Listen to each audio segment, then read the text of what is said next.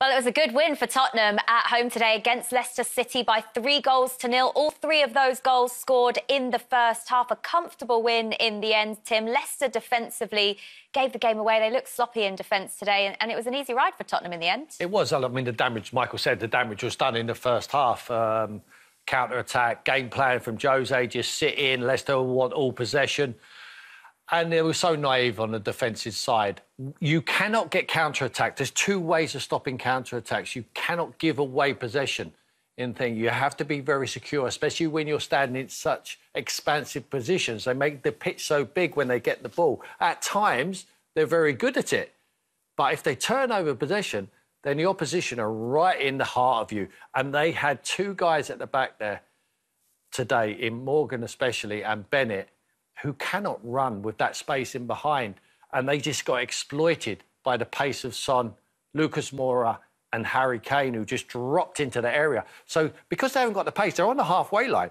The ball's dropping in there. You need to go tight. You need to foul Harry Kane in his own half. Then you're not going to give a, get a booking. Then you're not going to get in trouble with a referee. Instead, they got just drop off, but still hold the line, the halfway line, time and time again. Harry Kane dropped into the area, got himself on a turn, waited for the runners, just slipped him in. Then they're in behind. Then they're in major trouble. They backed off and backed off into the penalty area, and they get beat all ends up.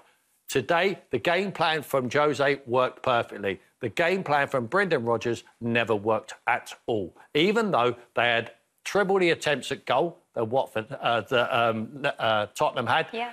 But clinical finishing, Michael, was just the key to that today. It was, yeah. I mean, they were clinical, Tottenham. Um, but uh, it's so difficult. I'm, I'm watching the, the game and thinking, what, can you do as a centre half there? They've got their two full backs are out.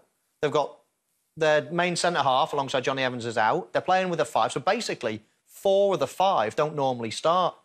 Two of them, one's won the league with Leicester. What, you know, and then the other one is is you know getting on and, and can't really run. And you're trying to play a possession-based game, and you're, you're susceptible to the the counter attack. It's, it's not easy buying good centre halves that are going to be a substitute, basically. But that's what we've seen. As soon as you get an injury or a suspension, all of a sudden mm. you've got to put these reserve players in.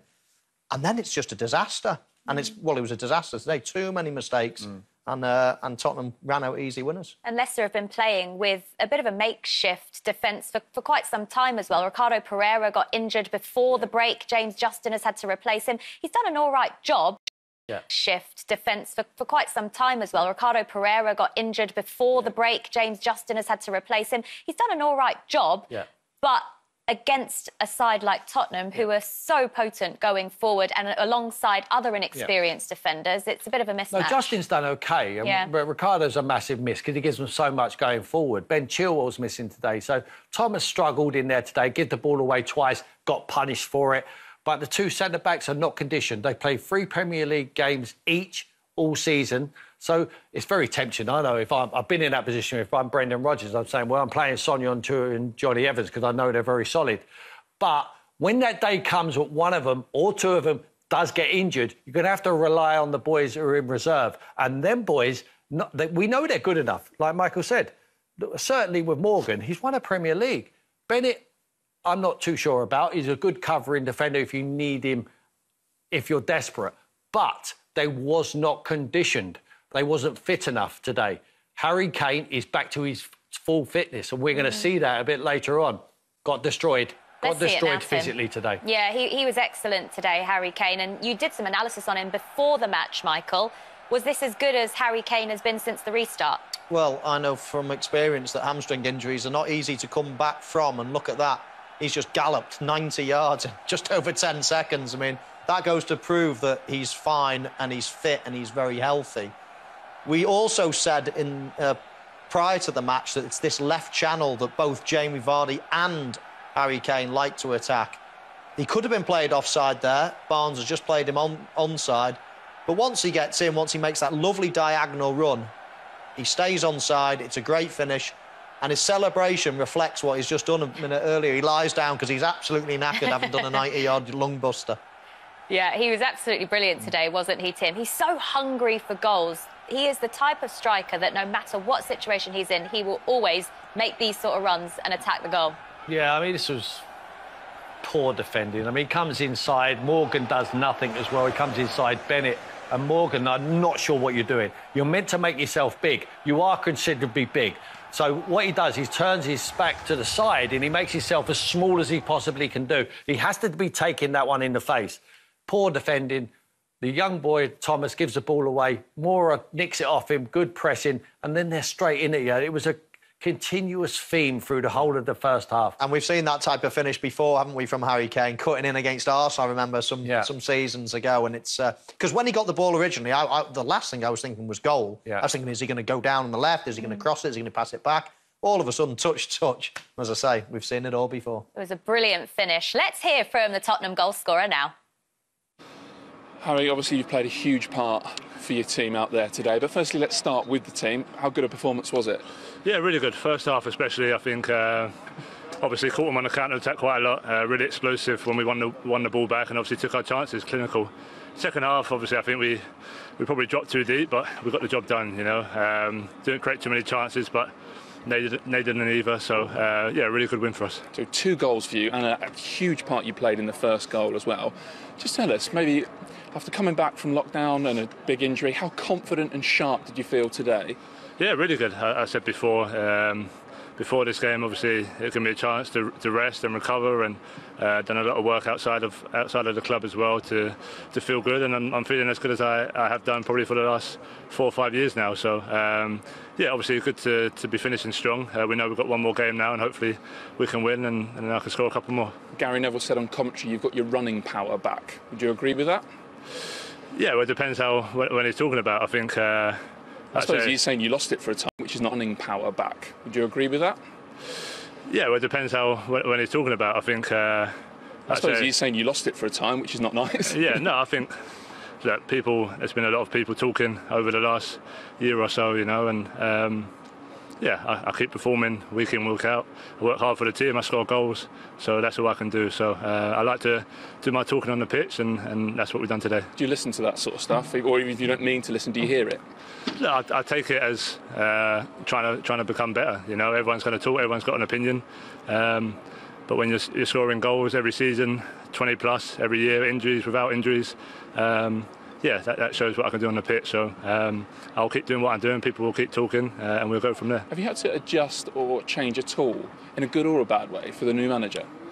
No, no. Obviously, it's a, it's a different style to, to Mauricio. Um, but yeah, look, we've been getting used to it. We had a lot of time to work on it uh, during the during the period we was off. Uh, obviously, it was hard uh, for him coming during the season to try and put his stamp on it straight away because we had so many games. But uh, we've been able to do that for the last, uh, well, especially the last three games, three good wins now. Um, so yeah, we've got to try and finish it off strong next Sunday. They're a good opponent for you, aren't they, Leicester? You yeah, for some reason it's one of them teams I seem to seem to score uh, a few goals against. So, um, but look, they're a good side. They're obviously fighting for Champions League. I think we caught them on the break today. We caught them. Um, yeah, uh, like I said, on the counter attacks, and um, yeah, once we got ahead, we kind of we steadied the ship, and obviously the clean sheet was great as well. Final word then on your second goal. Just talk us through what you saw, because you had virtually nothing to aim at. Yeah, it's just one of them. Uh, obviously, the ball just got away from me to begin with. So uh, when you're in that position, not many players around. Obviously, I look to try and cut in and, and, try and find that far post. Sometimes it, it comes off, sometimes it don't. Thankfully, it did today. So um, yeah, nice goal, and obviously always nice to get the third one because it kind of uh, takes a bit of the pressure off. Well done, Harry. Cheers. Thank you. Two goals for Harry Kane today makes it 14 goals in 10 league appearances against Leicester. Now, they are a team he likes to play against. His reaction to that interview there, Tim, quite interesting. He got quite defensive over a bit of criticism. Yeah, I think um, he listens to people, uh, listens to what everyone says, and, and he cares. And if people unfairly criticise him, I think he takes it to heart. I think, uh, listen, he's, he, he's what he say. He said it himself there. Score plus of 20 goals every single season. Uh, now he's established in the Premier League. It's hard to give him the stick. You know, he's had some he's had some injuries as well to deal with, but pound for pound, for me, he's still the best striker in the Premier League. He's a perfectionist. Would you agree with that? Uh, yeah, I mean, he's obviously top class. I'd, to be honest, I didn't think uh, his response warranted, or, or, you know, the question warranted his response, really. He, he looked a little bit prickly to me. He's just scored two goals. Everyone can see he's back to his best. And there's no question for the people who've had hamstring injuries, you you do have a, a, lack of power for the first sort of few games, and, and, especially and more of a mental scar more than anything as well. So.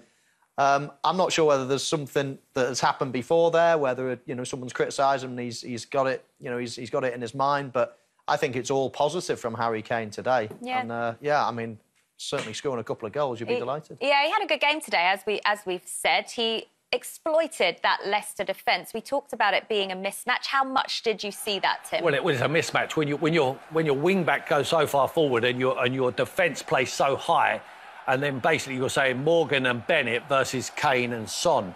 That is a total mismatch. When you get that space in behind, you've got the quality of Winks on that occasion, or whoever the midfield players who can play for Tottenham. This is Harry Kane. What a pass that is! Blind pass there, in behind Morgan, and then he's toiling to get back at Son unlucky not to get a free kick there. But when you leave that sort of space in behind you, Michael will know he wanted the space.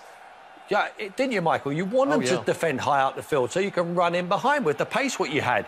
These guys, Harry Kane's not the fastest, but he knew he was faster than that guy. He knew he was faster than Bennett. He knew he had the pace of him. But I'll tell you who is quick enough. You know, I saw Harry Kane coming off as a 10 today. Son was going in behind. Moura was going in behind. They were causing them all sorts of problems on the counter attack mm. took advantage, didn't he?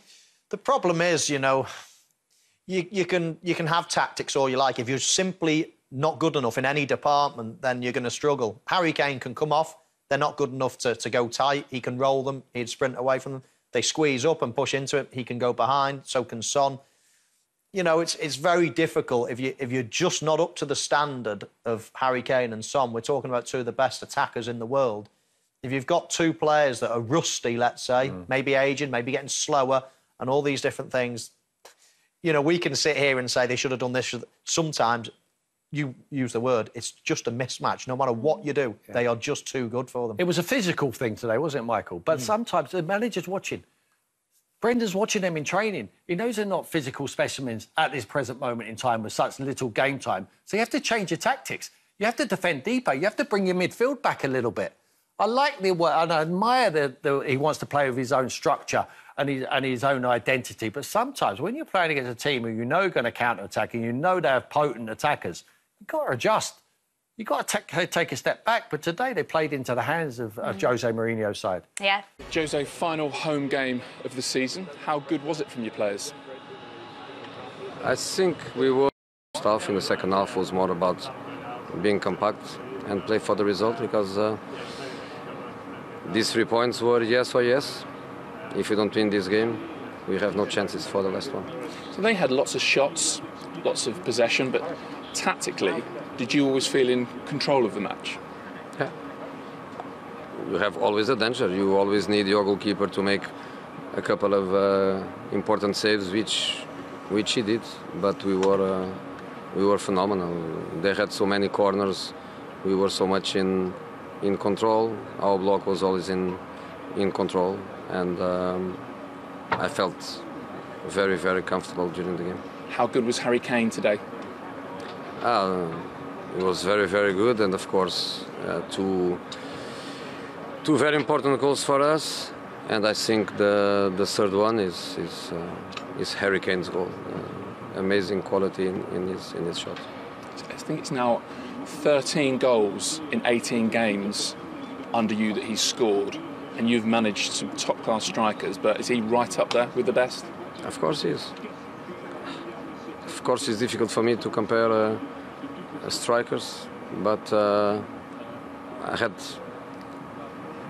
almost in every club I had some of the best, and uh, of course Harry is second to, to none. Just different, uh, different qualities but as a as a striker, as a goal scorer, as a team player, as as a leader, I think he's he's fantastic. Do you think you can make him better? it's difficult to make him better. I think uh, the better the team is, the better he can be. Uh, but I think it depends more on on us. It depends more on on the team as as globality than himself because he's amazing professional, works very very well. He cannot work better than, than what he does during the um, during the week. Uh, he's a fantastic striker and uh, so happy. And Tottenham is so lucky to have him. Even if it didn't lead to you getting into the Europa League, how important is it the form you're showing now? It's very important. That's what I always told. Uh, it was very important the way we ended, what we were showing after after um, this this long break, because uh, the long break is not so open like a, a preseason hopefully is, because we had lots of limitations, but was good enough for us, for the players, to feel that with work, that with time, we could uh, improve. So I think clearly we are one of the teams with more points during this uh, this period after after the the break, and I think that is a very very good uh, feeling. Now we have to fight to finish six, but doesn't depend on us. We we have to to win, and that is difficult at Palace, but we have to try to win and wait for something in with other opponents. Um, if not seventh, because seventh is um, what we can achieve independent of the others. And we finish seven, we still depend on the FA Cup um, final. But getting or not getting to Europa League, I think the feeling of uh, what we are doing, what we are improving, I think is very important for the next season. Thank you. Thanks, Jose. Well, Tottenham currently occupy sixth place in the Premier League table after their win over Leicester City, which is one of the guaranteed Europa League spots if they can stay there. Tim, you talked before the match about the minimum requirement Tottenham needed this season for it to not be deemed a failure. In the context of European places, then, how big a win was this? Massive. Jose said it himself. It was a must not lose game. And and they managed to get the three points. Now they have to go to Pal- uh, Palace and they have to win that game. You know, it's really important. I think the before the lockdown, you would have given them no chance. You know, the, without Son, without Harry Kane.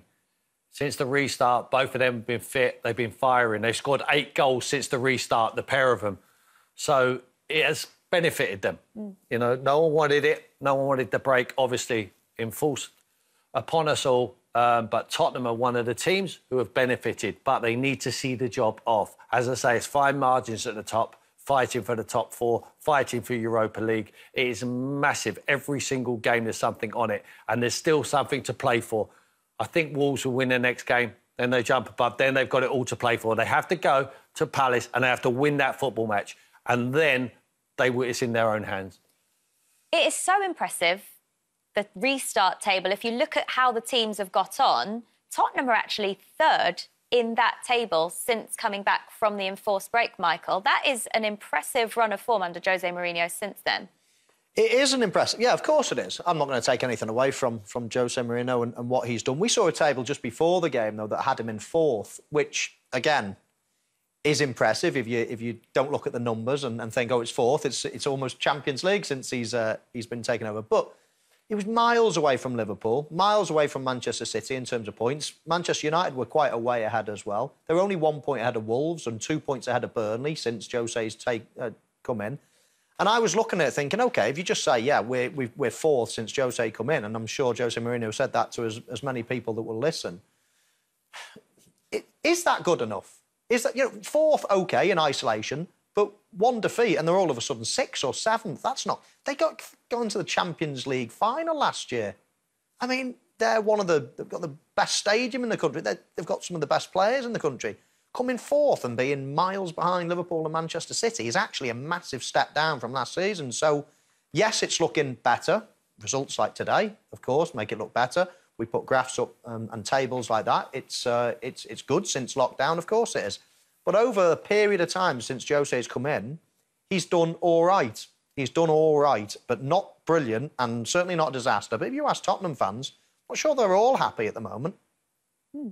It's interesting, isn't it, Tim? And Jose Mourinho was full of praise there for Harry Kane, wasn't he, in his interview? However, he said he doesn't think he can make Harry Kane better. It's the players around him that can make him better. But can Harry Kane be at his best playing in this style of football under Jose Mourinho? Well, when he scores two goals in the last two games, he could be happy. Harry Kane is happy. Though if he's happy if he's scoring, Michael would tell you if you're scoring goals, you're happy. But I think he preferred the other style under Pochettino when they were on the front foot, when they were creating more chances. They haven't had one touch of the ball in Leicester's penalty area in the second half. Now, it's hard to criticise what Jose's done because he's getting the points on the board. But it's not just about points, it's about trophies. The fans want trophies. They won't tolerate that style of football, and nor will Harry Kane. Your question to me was about Harry Kane. He is the world class performer at Tottenham Hotspur. There will be a queue round the block to sign Harry Kane if he was available. They need to keep him at the football club. Jose just said it himself. He is so important to what they're going to achieve in the future. Without no Harry Kane, try and find a replacement. And I'd have to point out to everyone it's not about spending money. Harry Kane costs how much? A square root of zero. Nothing from the academy. Jose needs to look in the academy and see if there's any more Harry Kanes. See if we give him an opportunity. That is what brave managers do. That's what managers with no money have to do. Some of the best players we've seen this season all over the Premier League are academy graduates.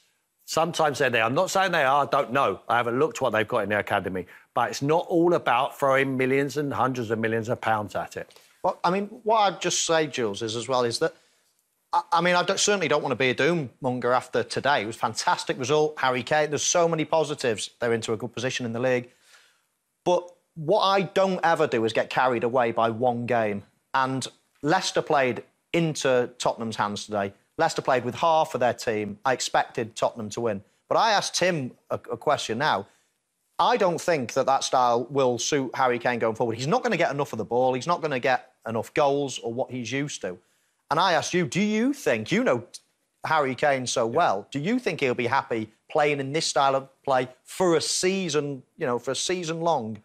And do you think he'll be? I mean, of course, he wants to stay at Tottenham. He wants to be there forever. Yeah. But only if they're winning things. If he's not, if he's playing in this and he's not getting many chances, do you think he'll stay? And Yeah, not in I- the Champions League as well. No Champions League, so he's going to have to take that one on the chin. They're used to Champions League, as Michael said. Last four seasons, Champions League, going deep into the competition, finished in the final last year. They've digressed. One million percent they've digressed from, from last season. Yes, it's not all Jose Mourinho's fault because Pochettino had such a bad start in the league. Harry Kane will reassess. He knows where he wants to be. He does not care how much money he's got in the bank.